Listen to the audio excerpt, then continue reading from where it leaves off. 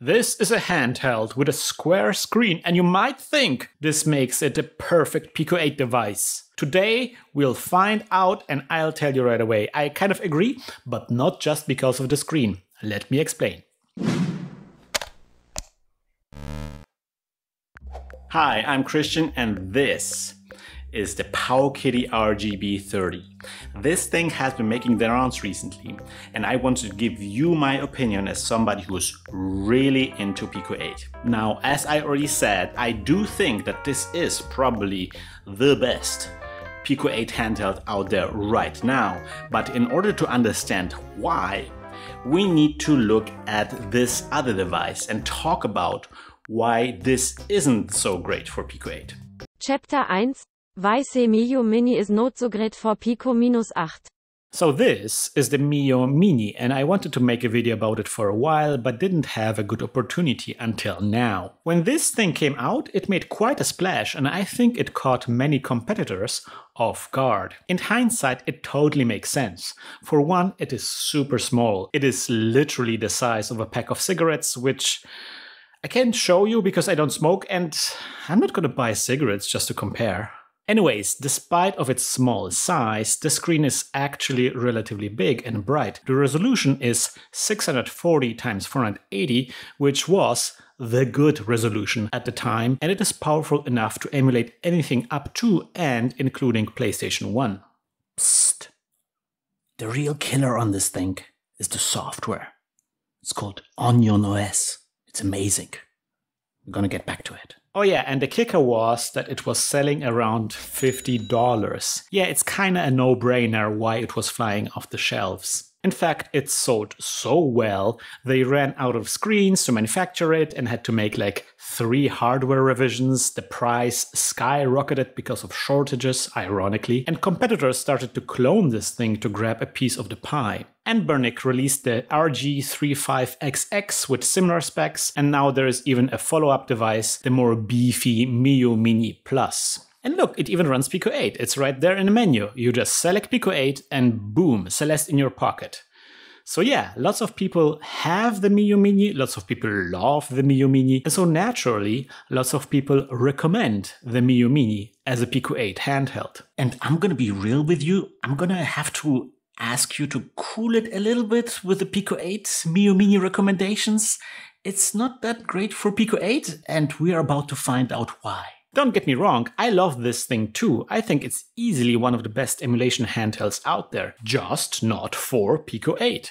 Here's the thing, the Miyoo Mini does run Pico 8 games, it just doesn't run them natively. What does that mean? Well, running Pico 8 natively means you just grab one of the versions of Pico 8 from the website, for example, the Raspberry Pi version right here, and you put it on the device, and that is what the device will run. That's what we call running it natively. Here's my previous recommended Pico 8 handheld, the Qi Game Force, and it runs Pico 8 like a champ. No notes. And the Miyoo Mini can't do that, at least not currently. All it can do instead is run an emulator core called Fake 08 by John Bell. This is an open source Pico 8 emulator that runs in RetroArch. And listen, it tries very hard to be just like the real thing, okay? Give it a break, it's just a little emulator core, and quite often it succeeds. Like here, we saw previously Celeste, and here is Pico Racer. Here is a more modern game like Dragon's Fury. When it works, it works. But also, it sometimes just doesn't work or doesn't work well. Here is what it sounds like when I play My Chance Sweet Buns.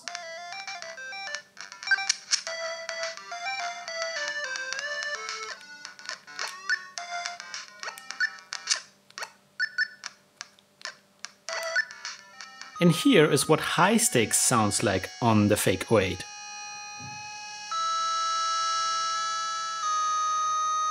In reality, it's supposed to sound like this. And yeah, Shape of Mind sounds bad too, and the halo is glitchy.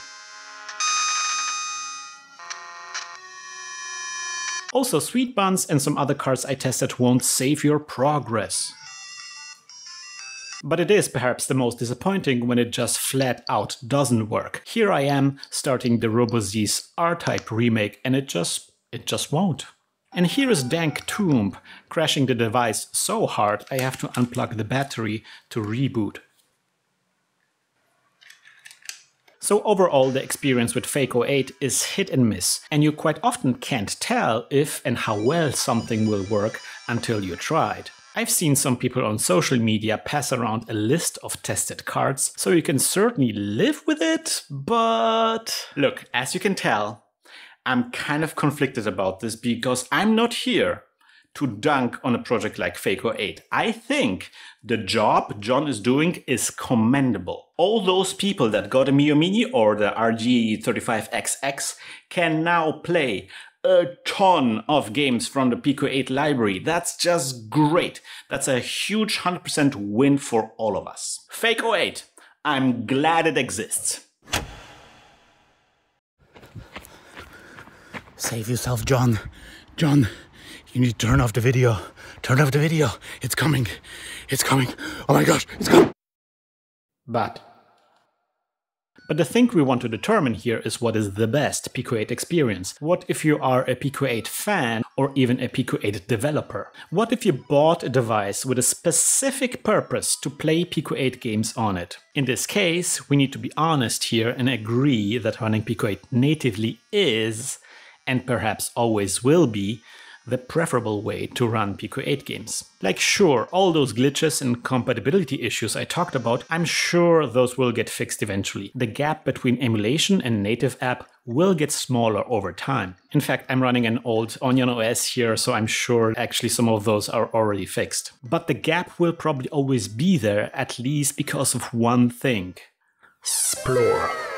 So in case you don't know, the native Pico 8 app has this feature called Splore, which is kind of like a file browser, but also an app store. Except it's not quite like an app store because it's free. It hooks up over the internet into the Lexaloffle BBS and you can easily browse and download Pico 8 cards using it. It has a featured list for hot new releases. It even has a random card feature if you just want to browse the library. And in previous videos, I already talked about how essential Splore is to enjoy Pico 8 on a handheld like this. For example, I want you to just picture the procedure of getting a single card on a device that doesn't have Splore. Step 1. Power down the device. Step 2. Eject the SD card. Step 3. Put the SD card into the thing. Step 4. Put the thing into your computer. Step 5. Go to lexaloffle.com.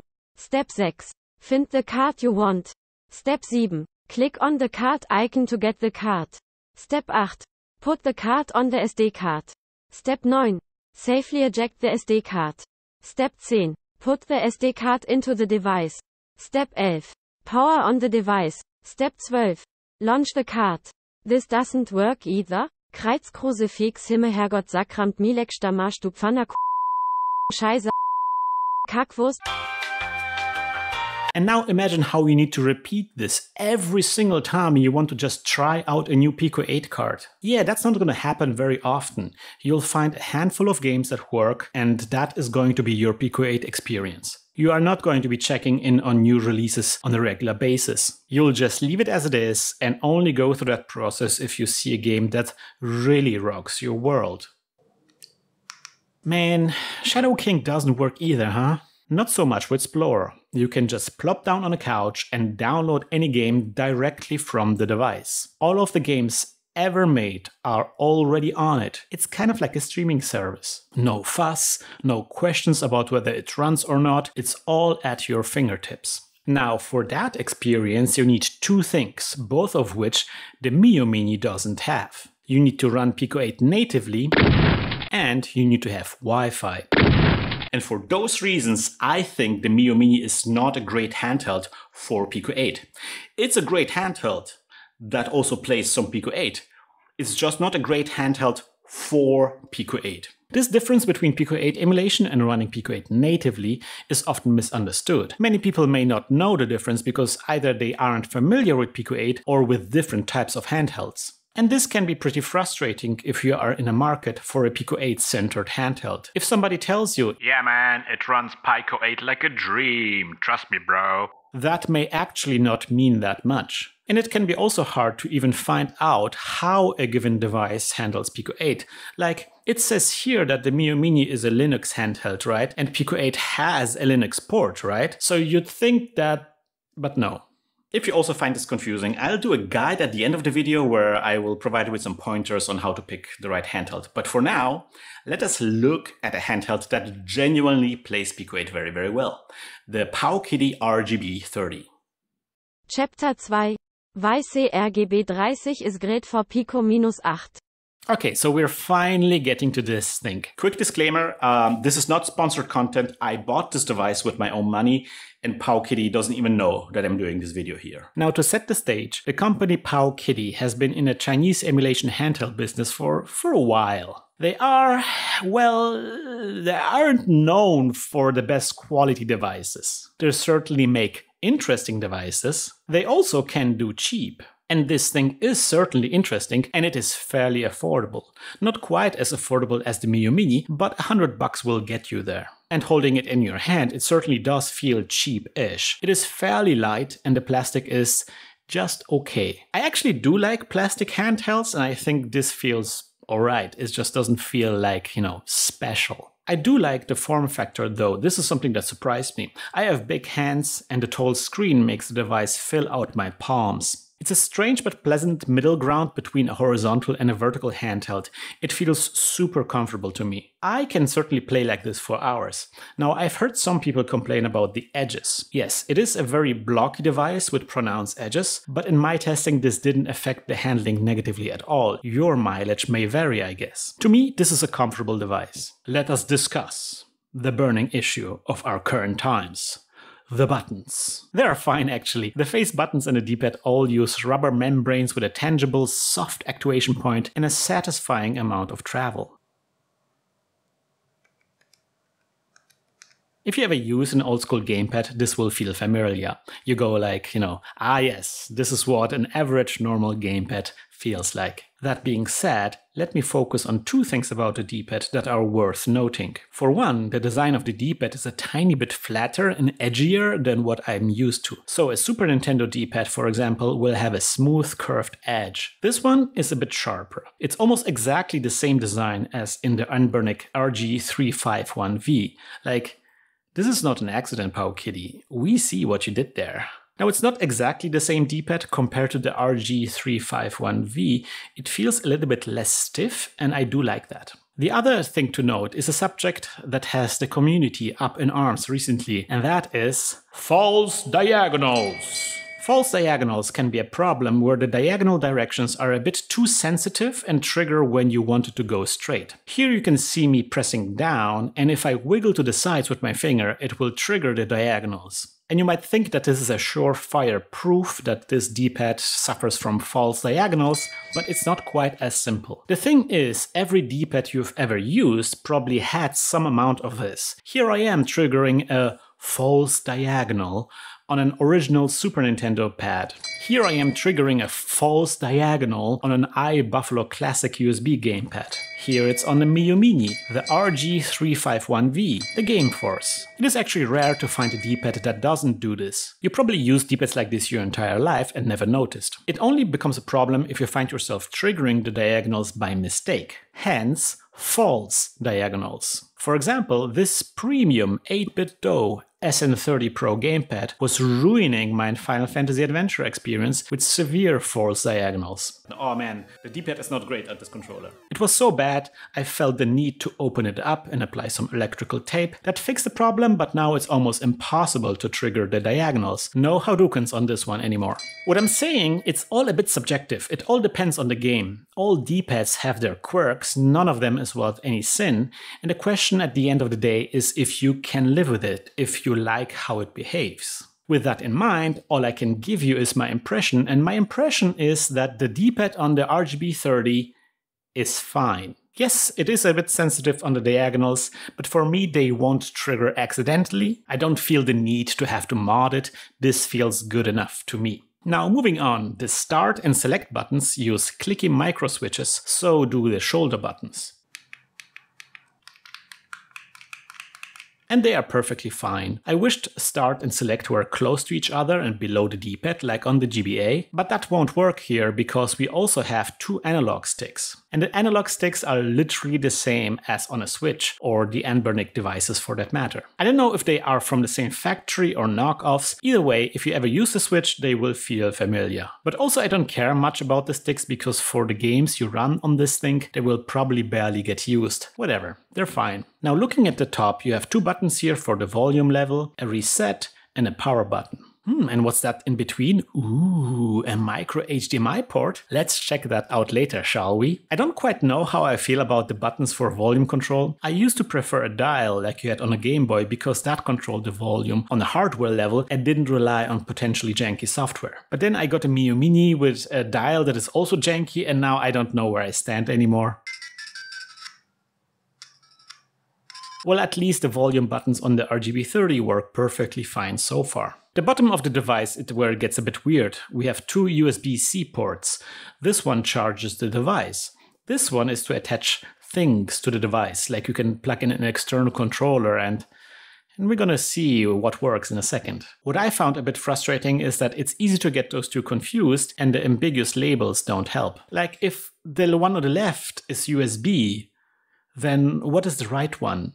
Chopped liver? There are also two SD cards and this may also be confusing. The left slot has an SD card with the operating system. The right one can have a second SD card just for the games. I've seen some of the manufacturers go for a split like this. I think the idea is that the system SD card is often formatted for Linux. Now if you are a Linux Chad, you can put your games on the same SD card as your system. For all the Windows dirtbags out there, we get a second SD card slot that can be formatted to be readable on Windows. And that's where you can put all your games. But of course, if you are willing to put up with WinSCP, you can also easily live that one SD card life. Personally, I would recommend using two. What I would also recommend is to ditch the SD card that the device ships with. They are often slow and can die on you. Trust me, it's not a pleasant experience. Also, don't buy the version that comes with a second SD card pre-installed with ROMs. Just just don't. Anyways, we also get the 3.5mm headphone jack. I like that a lot. There's nothing on the sides of the device and the back is strangely blank, like really weirdly blank. Don't they have to put some kind of, I don't know, certification labels on there? No? Nothing? Huh. That's how they roll in China, I guess. I always thought this would be a good place to put a hotkey cheat sheet on there. Like 8BitDo does that on their controllers and it did save my bacon in the past. But despite some small nitpicks, overall, from the perspective of hardware, this is a shockingly inoffensive handheld. Pretty much everything on here is familiar and safe. For my big hands, I'd say the ergonomics are actually above average. That's pretty good so far. So let's turn it on, shall we?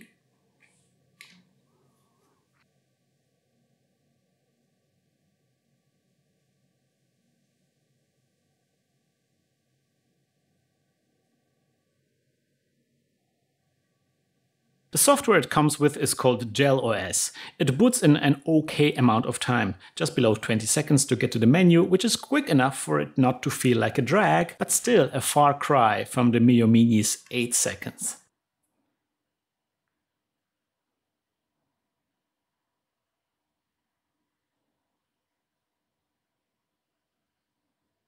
I told you! Onion OS! So good! And the first thing that hits you when you boot it up is the RGB30's party trick. A nice high-res square screen. Mmm.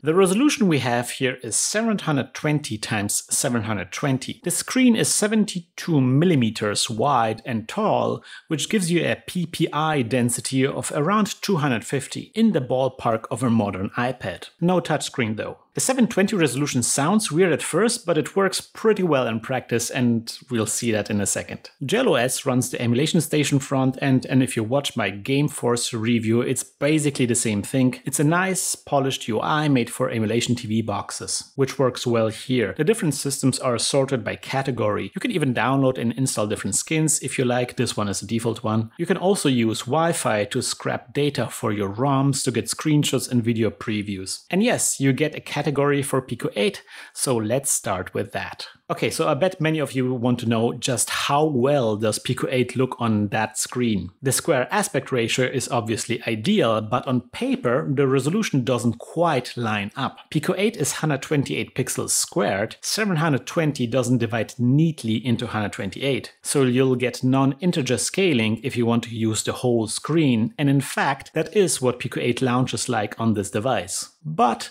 due to the high pixel density, this isn't that much of a problem here. Even with non-integer scaling, the resulting image is pretty sharp. And trust me, I'm saying this as an integer scaling hardliner. This is perfectly fine. But also, I am an integer scaling hardliner, and so by changing a setting, you can make Pico 8 run in 5x integer scale, and I think, oh, it looks even better. The image is only slightly smaller with a small black border. Folks, this feels luxurious. A huge image you can get lost in, razor sharp pixels, vibrant colors. Look, here it is compared to the Qi Game Force, Anbernic 351V, Anbernic 351P, Clockwork Pi Game Shell, Pocket Chip, Miyoo Mini. Yeah, pretty big screen. In fact, I'm gonna say this is as good as it gets. We are at the upper limit of the comfort zone here, which is why I don't sweat the slightly smaller image going pixel perfect. With Pico 8's resolution, I honestly don't need a bigger image than that. So we're off to a good start. Let me show you the rest of the Pico 8 experience. Of course, this thing runs Pico 8 natively. The installation is fairly simple. Download the Raspberry Pi built from the Lexaloffle website, unzip it into the Pico 8 directory on the SD card, and that's it. In the Pico 8 category in Emulation Station, you just select Run Pico 8 and it will launch straight into Splore.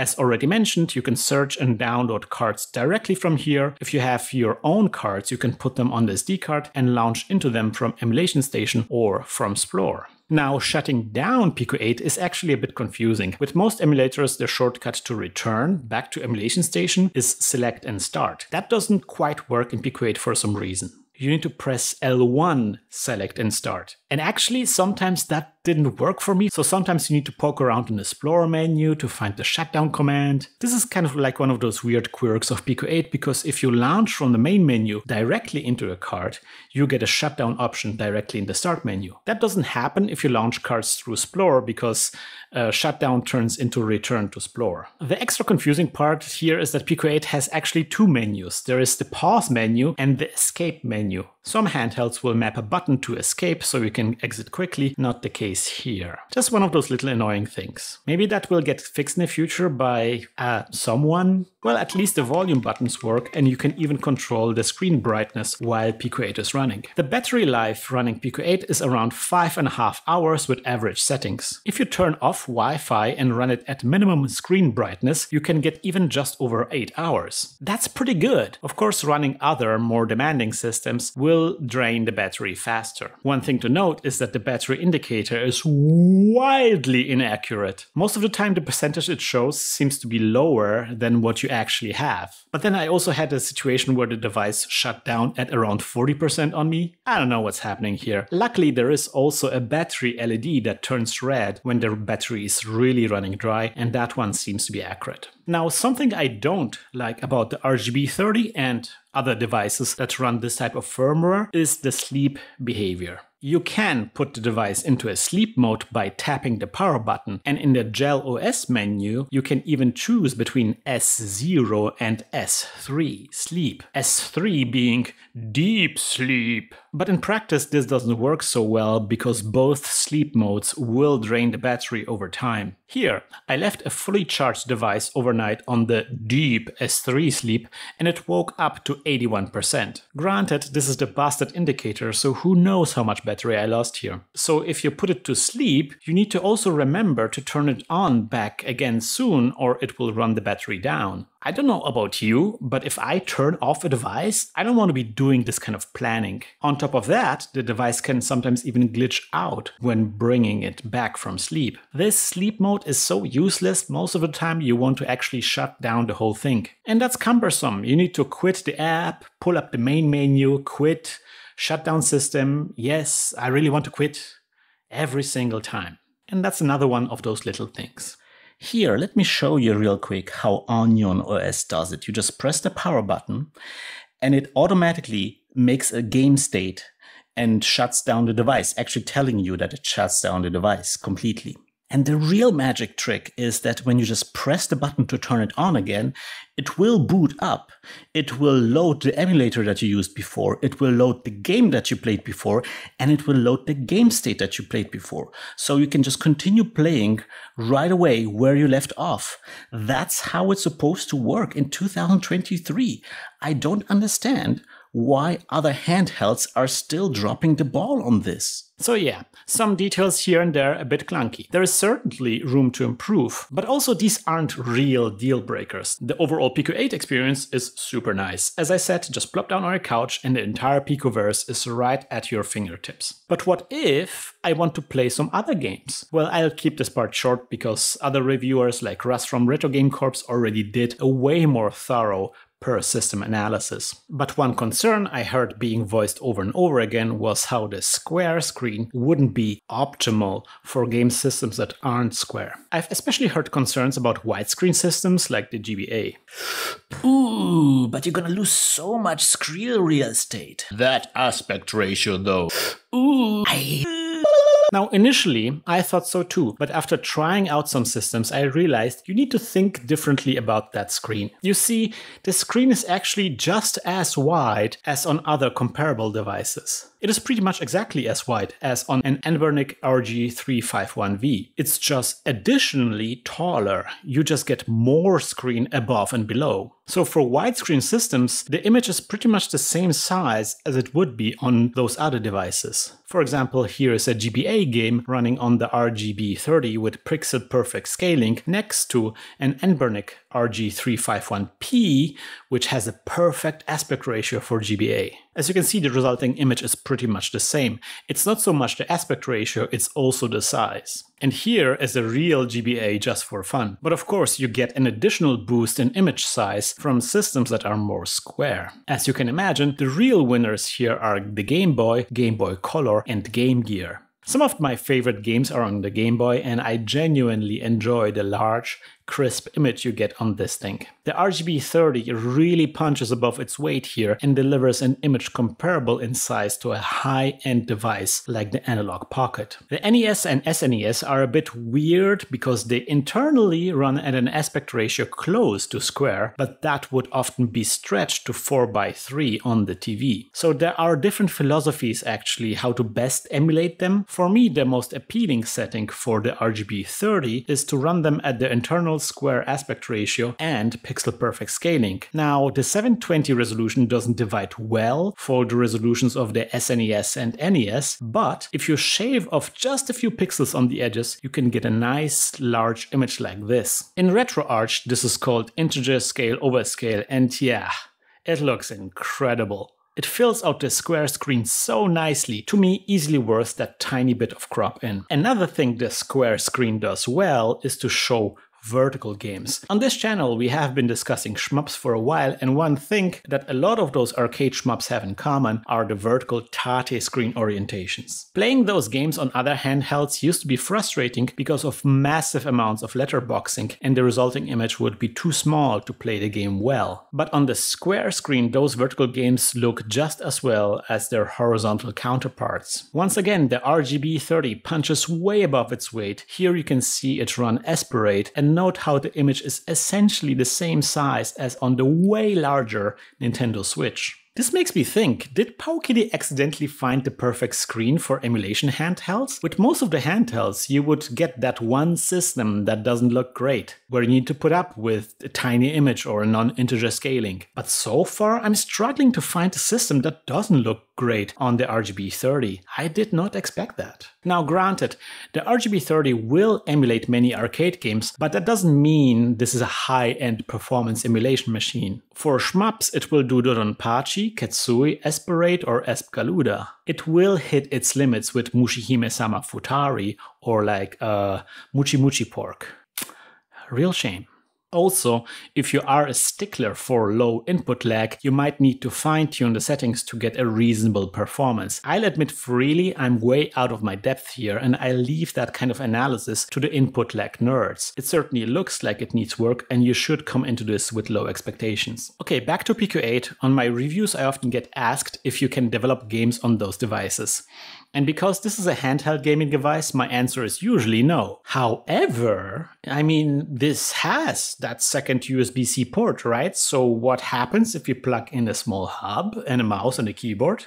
Oh my god, it totally works. You can easily code your games on this thing. And this time, the screen is actually large enough where it would actually make sense. I mean, this is bigger than the screen on a PocketCHIP or the DevTerm. Look, let's be real. This wasn't made to be a developed machine and it's it's not. Like, for example, there's no easy way to access command line. But if you really need to for some reason, you can totally make it work. But wait, what about that mini HDMI port? Well, that totally works too. It's not a Nintendo Switch, mind you. For me, I had to reboot the device and have a USB-C power cable plugged in because it saps a lot of power. But yeah, once it boots up with the HDMI cable attached, you can totally play all of the games on the big screen. You can plug in a wireless gamepad into the other USB-C port or use a Bluetooth controller and there you go.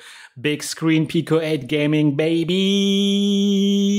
Yeah, except I can't, for the life of me, make the wireless controller register as controller number 0, so Pico 8 keeps mapping it to player number 2, and that's apparently a showstopper here. It's just another one of those things. To be fair, this is Pico 8 dropping the ball here, because it totally works with the emulators. But this is kind of emblematic of how these devices work in general. So if you are just about to drop some money on this, here's a last bucket of cold water that might change your mind. These devices are fiddly. It's all a hodgepodge of hardware and software all made by different people. Most of those people never talk to each other. Nobody's really responsible for it to work together. So there's tons of those little things that don't quite line up. You constantly need to fiddle around with those handhelds to make them do what you want. You will need to scour forums, GitHub repos, discords for information. You will get very familiar with SD card formatting tools, partition management tools, WinSCP and the RetroArch menu. And even if you do everything right, they still might not quite work as expected or glitch out or leave you stranded somehow. Just the other day, a friend of the channel Actane got an RGB30 and in like 20 minutes when it became clear to him how much work this device needs to run well, he immediately abandoned all attempts and returned it. And I can't blame him. These devices are projects, they are a hobby in itself. No wonder we have channels like Retro Game Corps dedicated to guides and tutorials. These are not like a Nintendo Switch or a PS5 or even an Analogue Pocket. And you can easily spend so much time setting them up that by the time you feel like you are ready to play, you lose all your motivation and you never do. That is why I'm making such a big deal out of Onion OS on a Miyoo Mini. From all of the operating systems that I'm familiar with, this one feels the most like it's meant to be used with minimal faffing around. It feels the most like a unified experience designed to get you to play your games. And even here, even here, I had to like set up the scaling options in RetroArch, how I like them, and you know, you assemble the entire ROM collection. That is why I think a different way to rein in the faffiness is to set those devices up as dedicated Pico 8 machines. As you saw, the installation is fairly quick, Pico 8 runs on it without much drama, and you can quickly focus on just playing the games rather than tweaking display settings. So yes, despite some rough edges, the RGB30 gets my recommendation for the current go-to Pico 8 handheld device. It is easily currently the best way to play Pico 8 games on the go or from the comfort of your couch. And if you're up for it, it will emulate a whole bunch of other systems surprisingly well. Just be mindful of the rabbit hole. Features like HDMI out and the ability to potentially even hook up a mouse and keyboard are really just the cherries on top. This thing is pretty good. The things I don't like are mainly the sleep behavior, the battery management, and some inherent clunkiness of the operating system. Really was hoping some of those Onion OS features would set some new standards. I guess we need to wait a little bit longer. Now, while I think the RGB30 is currently the best Pico 8 handheld, it isn't the only one and the lead is not that big. Really, the most important features are being able to run Pico 8 natively and the Wi-Fi. From here, the screen is just like a bonus. It's a pretty nice bonus, but if you already have any other handheld that runs Pico 8 natively, I don't think it's actually worth spending all that money just for the nicer screen. Everything else is basically the same, and it's not like the screens on the Anbernic 351V or the Gameforce G are bad, right? And hey, I might be wrong, or maybe in the future we're going to get some other device that ends up being a compelling alternative to the RGB30. For this purpose, let me finish up with a short checklist of the kind of stuff that you're looking for when looking for a dedicated Pico 8 handheld. Chapter 3 What else is great for Pico minus 8? First of all, you want to run Pico 8 natively. Finding out if a device runs Pico 8 natively is hard. But let's start with some basics. It should run Linux. For example, these new Gameforce devices look sweet, but as you can tell, they run Android by default. This is great for high-end emulation, but Pico 8 doesn't have an Android version yet, and the workarounds are... Uh... just not get into this, okay? As already said, anything other than running Pico 8 natively will be a compromise. But as we saw, even if a device runs on Linux doesn't mean it runs Pico 8. A good shortcut may be to check the chipsets. Two chipsets that are known to work well with Pico 8 are the old RK3326 and the new RK3566. There are quite a few handhelds with those chipsets and they typically all run Pico 8 natively. For example, here's the Anbernic RG353V, and that one has the new one, the 3566, and it can boot into Linux. And yeah, I heard from plenty of people that this will run Pico 8 natively like a champ. The RG35XX from the same company runs on a different chipset, and as far as I can tell, there is currently no firmware that will run Pico 8 natively on this device. Finally, you want to make sure the device has Wi-Fi. For example, the old Anbernic RG351P has the right chipset, so it will run Pico 8 natively, but the lack of Wi-Fi will undermine the Splore experience. Yes, you can use a Wi-Fi dongle, or sometimes there is even a mod where you can solder in a Wi-Fi module, but it's always preferable to get a device that does it out of the box. Now, as you can tell, these are just general pointers. It's always important to ask around to make sure a given device is a good choice. A good place to ask is the Retro Game Handhelds Discord. Just be mindful that not everybody familiar with the handhelds understands the difference between emulating Pico 8 and running it natively. Hope that helps. I, for one, I'm really happy with the RGB30 and it will be my recommended go-to Pico 8 handheld moving on. Should that change, I will let you know. Until then, feel free to share in the comment section what kind of device you are playing Pico 8 on and how well that works out for you. Maybe that will help other people decide as well. Thank you so much for joining me on this hardware review. Be sure to check out my Ko-fi to support my work. And yeah, see you next time around guys. Bye bye.